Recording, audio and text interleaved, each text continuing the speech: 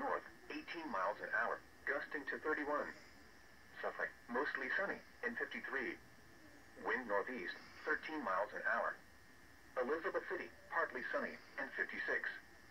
Wind north, 18 miles an hour. Edenton.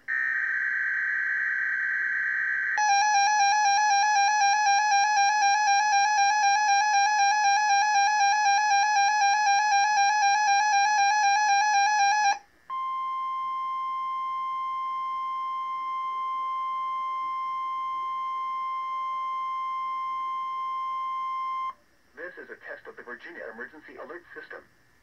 This is only a test. This test is being conducted in conjunction with the Virginia Tornado Drill. This drill is conducted annually to allow schools, businesses, emergency managers, and the public to exercise their tornado safety procedures.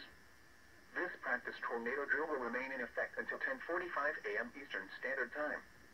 There will be no follow-up statements issued. Schools and businesses participating in the tornado drill should exercise their severe weather safety plans now. This test also serves as the emergency alert system required monthly test for March.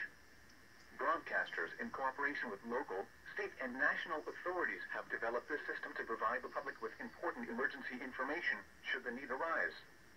This concludes the statewide tornado drill and test of the Virginia Emergency Alert System.